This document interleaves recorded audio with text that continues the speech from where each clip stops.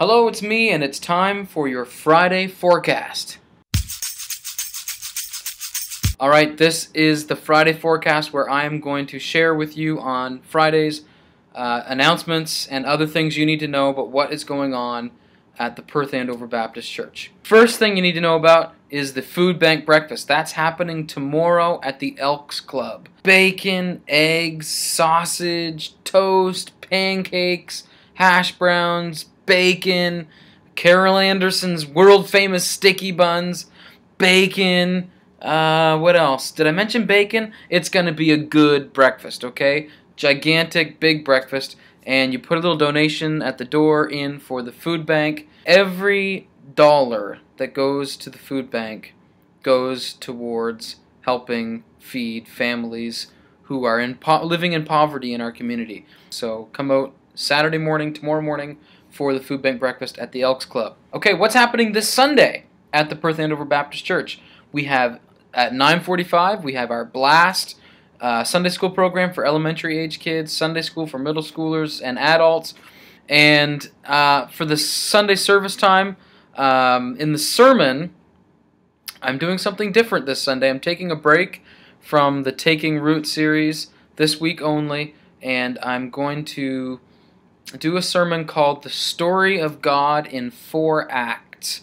After church, a reminder we have a brief, very brief business meeting uh, to vote on a couple nominations for positions that were vacant in the church.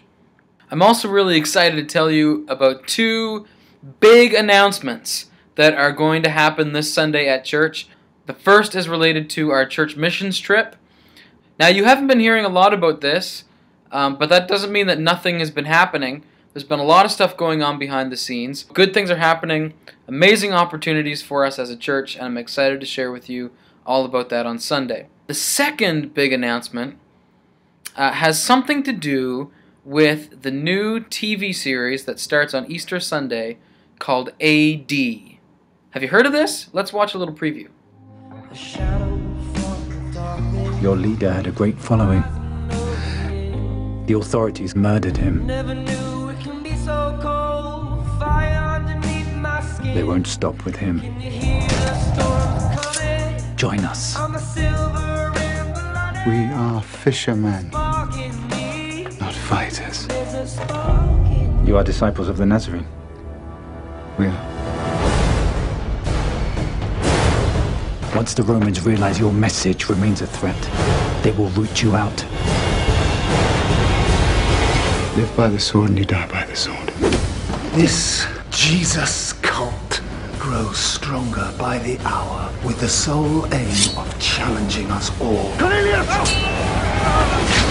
They say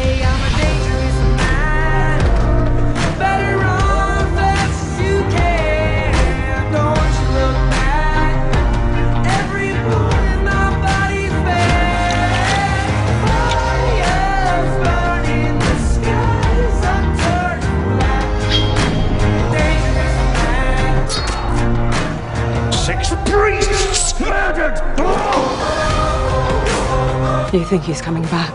I know he is. Alright, I'm not going to show the whole thing, but that looks good, doesn't it?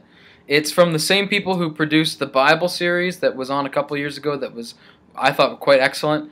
Um, same people produced this. This is sort of a follow up from that. Starting on Easter Sunday, the church is going to be doing something in relation to the Bible series and uh, or to the AD series, and uh, I'm excited to tell you on Sunday all about that.